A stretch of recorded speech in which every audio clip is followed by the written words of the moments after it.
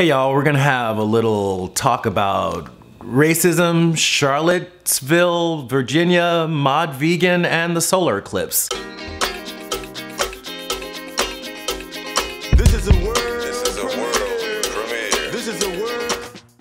Hey, I hope everybody's well. Today I thought I would just take it easy and have a conversation with you about some things that have been on my mind. You guys know I just got back from Chicago and was really um, fortunate to find out that I was able to um, uh, do a little bit of a live stream. It was a short live stream yesterday from the Greyhound bus leaving Chicago, heading back to Detroit.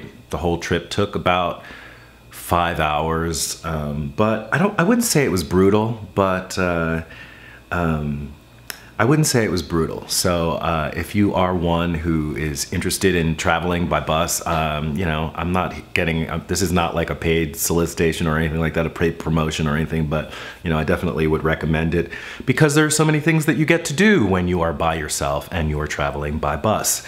For example, um, it gets to it stops and you get to get off and stretch your legs from time to time. And um, obviously, if you're not the person who's doing driving, that means that you know you're free to do other things like do your live stream, even though you're in transit. Uh, certainly not something that I would feel so comfortable doing on an airplane, for example, because you don't have access to your you know internet, so your wireless has to be off. In fact, you have to be in airplane mode, as it's said. But so today is the day of the solar eclipse, and according to Miles, who's just in the next room, it's the first one since uh, 1998, and um, uh, I don't think I was about as interested in that uh, solar eclipse as I am in the one that's happening now. I know that it's happening. I know that there are people that I uh, who are friends of mine who are traveling to places in the world so that they can be along that you know particular path where the view of the eclipse will be the most clear. And i think that's great. But um, i have some other things on my mind right now. So i don't have i don't have that much time to be um, devoting to um, the eclipse. So that leaves that part away.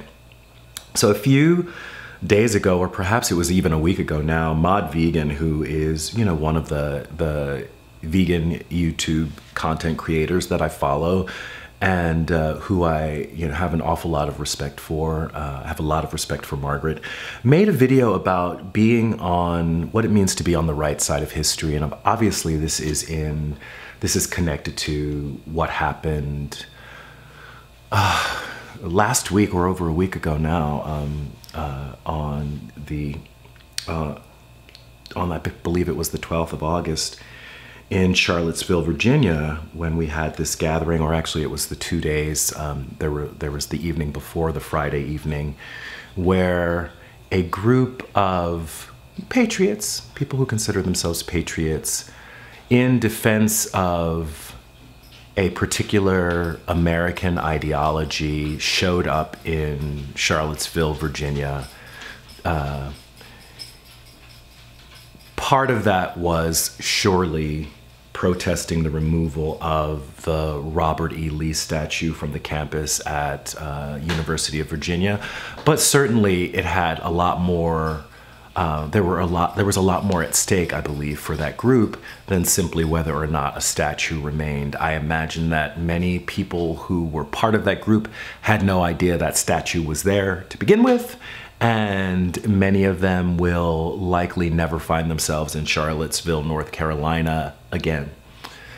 Uh, but something was important enough to bring that group of people to that space to make the statement that uh, that they made, and the reaction to the events that occurred in Charlottesville have been certainly diverse. They've certainly been diverse, yes? But I think the thing that is striking me um, as a little bizarre, feeling a little like I'm in the Twilight Zone, is a year ago. Um, I was having these conversations and they felt so theoretical. In fact, I, I, I at times had doubts about whether the conversation was even important. You know, the conversation was something that was even valid in 2017, 2016. Um, and uh, I've been criticized by a lot of people uh, for making videos that discuss um, oppression, that discuss white supremacy, that discuss racism that might possibly exist in the world today. Um, and now I don't feel that way. Now I feel like a lot of those things um, clearly were relevant, uh, and they clearly were things that needed to be needed to be discussed. And the lack of discussion certainly did not prevent what happened in Charlottesville, Virginia. So, what is, where does that leave us? What does that mean? Um, certainly, there's been a response from the President of the United States, which one would have thought would have been simple, simply that we do not, you know, condone hatred, racial hatred. We don't condone the actions of the neo Nazis or the KKK or white supremacist. Period. Right, and we. Um, and we stand against those things. We are willing, you know, people, you know, as a as a nation, we have historically um, died to suppress the existence of those forces in the world, in other places, and here.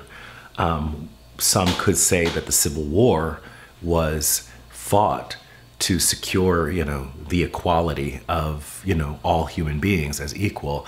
I don't say that that's necessarily the true, but one could one necessarily true, but one could say that, right? One could say that. So it is not a question of whether or not it is right to fight against the forces of white supremacy. That it is uh, that it is a that it, that it is acceptable in in the United States to take up arms for what is considered a worthy cause.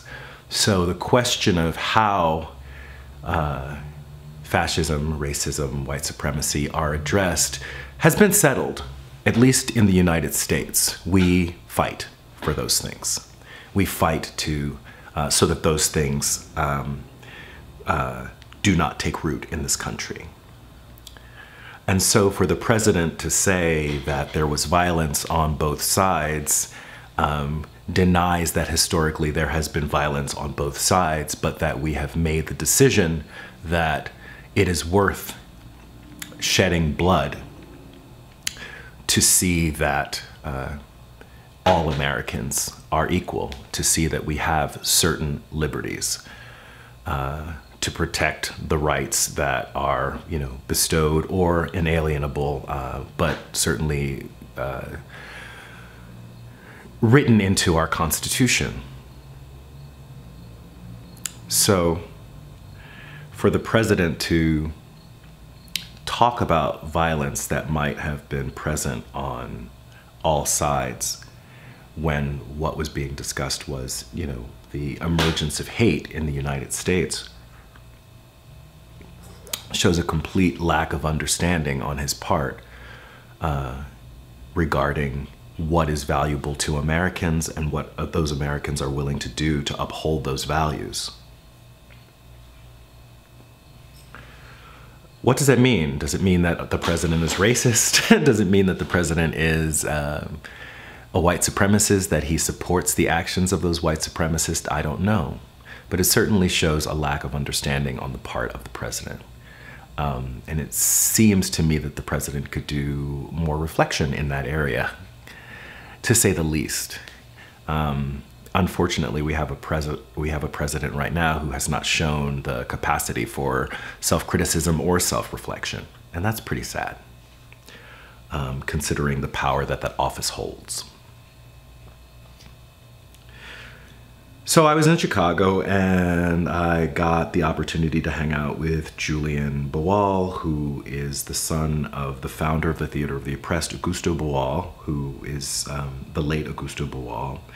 And I, you know, I consider Julian a friend. So most for for the most part, the trip for me was an opportunity to hang out with Julian. I also have a very good friend Stephen, who lives in Chicago and has lived in Chicago now for two years. So it was a great opportunity for just for me to see people that I love. However, uh, I did participate in the Theater of the Oppressed workshop that uh, Julian was giving. It was an advanced workshop, and he was introducing some new techniques, exploring ways that we traditionally look at oppression. And what is interesting is we have often conversations about how you know racism isn't about what happens on an interpersonal level. And uh, interestingly in the way that theater of the oppressed has developed over the years particularly in the, the united states there's been a lot of emphasis on the interpersonal. So often in plays that are developed there is an oppressor and an oppressed character, and we see the oppressed character struggling against that individual. And what Julian proposes is that reinforces the idea that it is the role of the individual to overcome the oppression. And if we understand that oppression as a system, then this is inconsistent what we know is possible, even, right? One person can't overthrow racism, right? One person can confront a racist in their life or someone who uh, embraces racist ideology and takes oppressive action based on that racist ideology. But it is not up to that individual to transform racism into something else.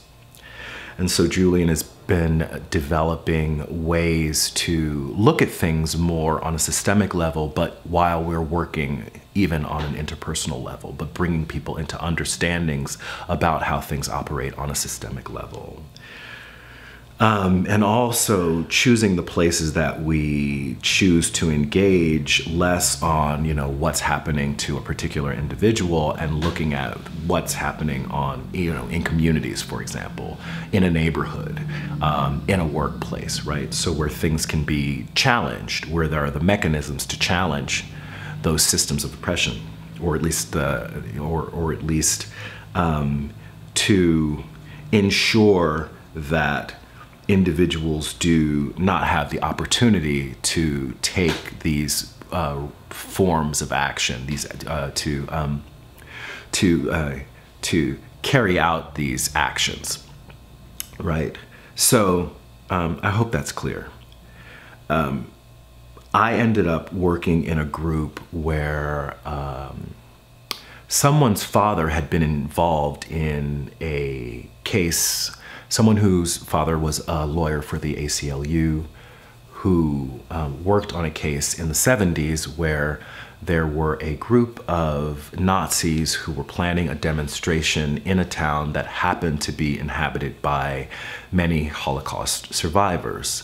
Um, which is not unnatural which is not unusual. We find that you know groups uh, you know like families settle in certain areas and then others go to those areas because uh, those you know social resources that social capital it becomes really important if you're moving into a different you know into, into you're moving from one country to another. So we see that there are pockets of people from one place in the world all settling in a particular area uh, that's true here uh, that's true here in Michigan we have one of the largest um, uh, Muslim populations in the world um, here in, in Michigan. Uh, I think it might even be the second largest population here in Michigan um, outside of the Arab world. That might be true. You need to check on that. However, there was an area where many Holocaust survivors had settled, so this action taken by this Nazi group was, you know, directly an affront to the people who lived in that community. But the ACLU stepped in and defended the Nazis so that they were able to do their demonstration.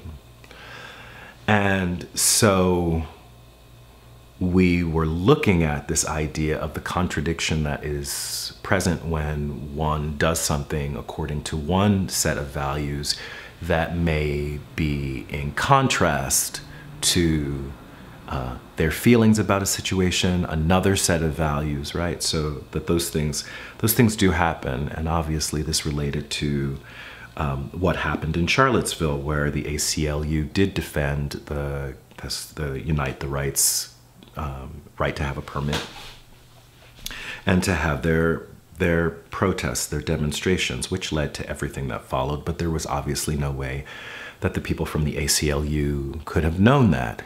And so then this goes gets into um, you know what it means to defend freedom of speech. And recently, even before we had this incident in Charlottesville, there's been a lot of rhetoric uh, on social media talking about this value of free speech. We heard it around Berkeley when Milo Yiannopoulos was going to speak there, and there were protests there, protests that became violent, um, and you know who is you know what you know we there are folks who would say that it's you know the left the regressive left that's the most interested in you know uh, in um, in limiting speech right? Limiting speech. And you know this may be true. I don't know. Someone would have to um, someone would have to take you know some kind of a survey.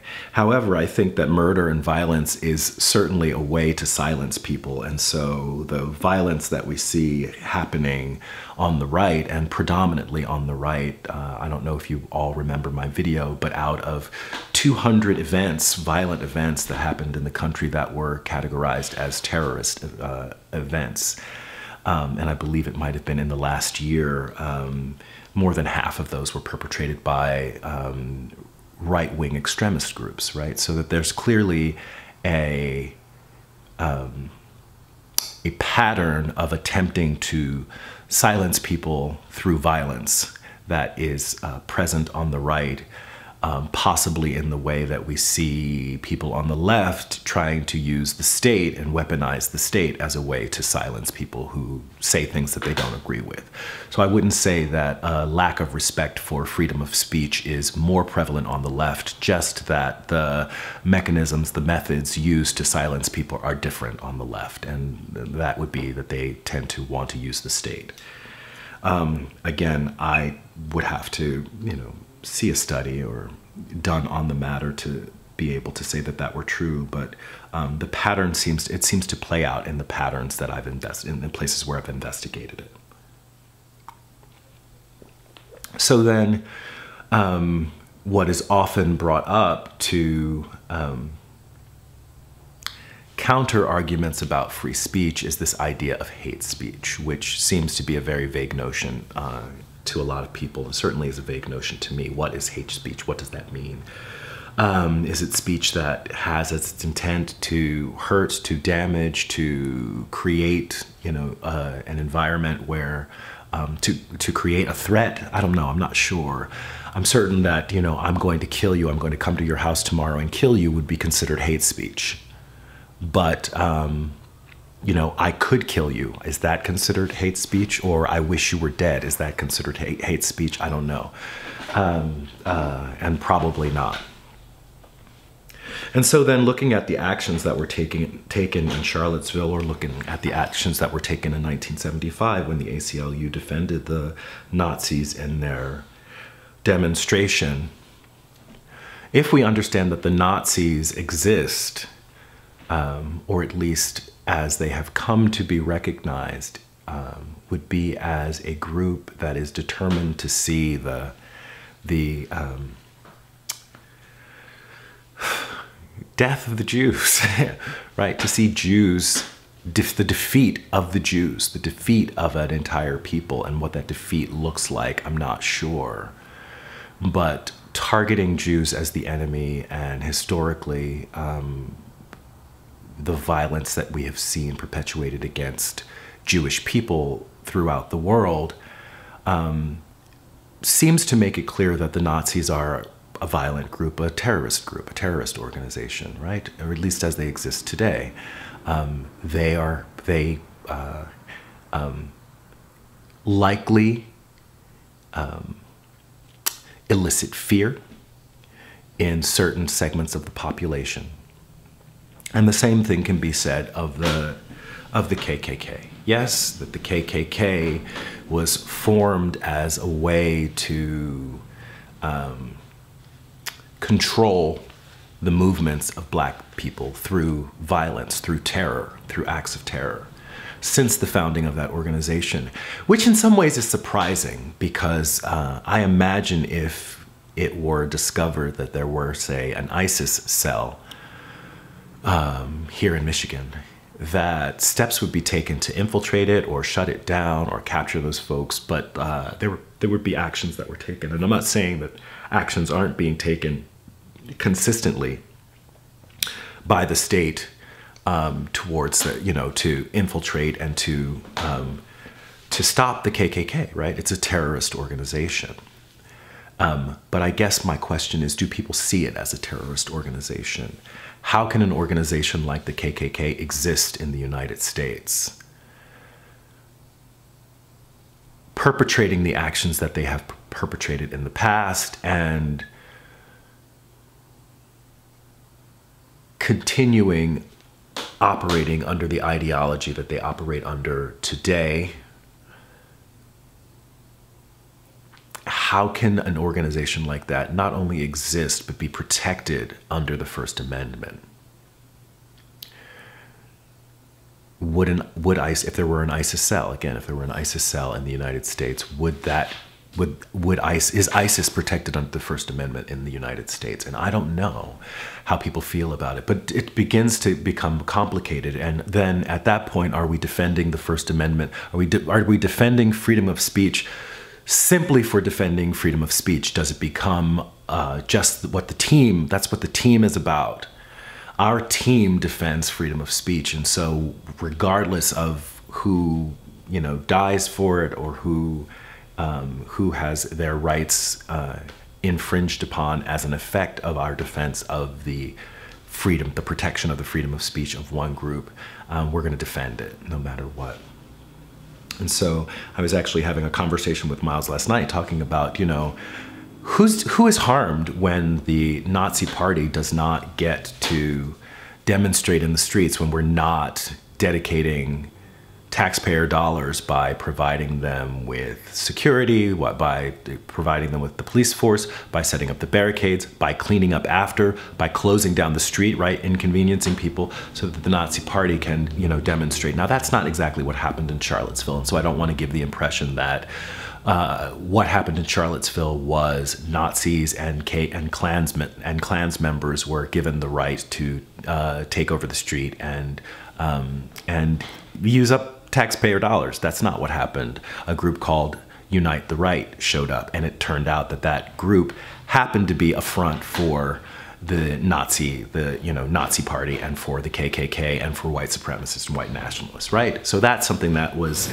um, that could not have been known, or likely was not known by uh, the the state, the the city when they allowed that to happen. And I'm sure they certainly didn't think that they were going to show up with guns, right? But the question is again, as I say, who is harmed when the KKK does not speak? Right? Are those members, is there some, is, are, is the KKK or the members of the KKK, is the KKK somehow defending and protecting the rights of anyone? Any rights that are you know bestowed by you know uh, you know conferred on us by the Constitution by um, with their speech so that the you know by preventing that speech you know who who ends up being harmed or is the only thing that's harmed by preventing the speech of the KKK or the Nazi party the First Amendment itself. And you know, when, the way I look at it, the First Amendment is not a living thing. It's a you know some words on a piece of paper, right? That have been revoked throughout history you know and if you go back and look at my you know video on the past videos that i've done on free speech free speech has been revoked routinely in the united states particularly in times of war all right? So it's not as if it doesn't happen. And so why does it become so important to defend it when it comes to um, you know these extremist these uh, extremist groups especially uh, extremist groups who have routinely as part of their history or have, are associated with, with terrorism. And so then Miles brings up the fact well, you know, what about the fear that might be evoked by a group like Black Lives Matter? What if someone is afraid of women marching down the street? And then we have to look at the reality. You know, uh, Black Lives Matter, regardless of the fact that there are people who would like to categorize them as a terrorist organization, don't have as their mission the erasure of white people. they don't have their uh, mission the eradication of Jewish people throughout the world. That is not their mission, whereas these other organizations do have their mission. This this um, you know violence and the revocation of the rights of others. And so there's not a moral equivalency there. So yes, although someone might be made frightened at the idea of black people congregation congregating in the streets, we do we need to defend the right of black people as citizens as you know they're not it's not by by nature of being african american one is not automatically a criminal one is not automatically a terrorist uh, one is not automatically prone to violence. And so um, the fear of those individuals when they're being confronted with black lives matter is irrational whereas the fear being experienced by individuals when the KKK walks through the street is not irrational. It's tied to a history of behavior. Um, it's as if the person who punched you in the face yesterday comes back in the room today. There's the expectation that they might do it again, especially if they have voiced that desire. And the KKK and the Nazi Party continue to voice a desire to see uh, the um, I want to say the exaltation, to see the elevation of some groups of people at the expense of other groups of people. So I don't know. I don't know what people think about that. Anyway, that's a lot. So I feel like that might be enough to leave us with today. Definitely, please do check out Mod Vegan's video on being on the right side of history um, because there's some um, some cool stuff happening in the discussion on that video. I'll include a link to it in the description box below, probably. Um, I'm going to be back this week with more videos on this topic, but looking at specifics, um, specifically uh, the responses of our politicians, the government to the actions that have happened. We're going to be looking at what's going on in the White House. Uh, I am going to be uh, doing a few more reviews. There's some other um, uh, documentaries that I want to share with you. Um, yeah, so look for all that stuff in the coming week. So for now, that's it for this video. Like it if you like it, share, comment, subscribe. This is Reg signing off. Love yourselves. Peace.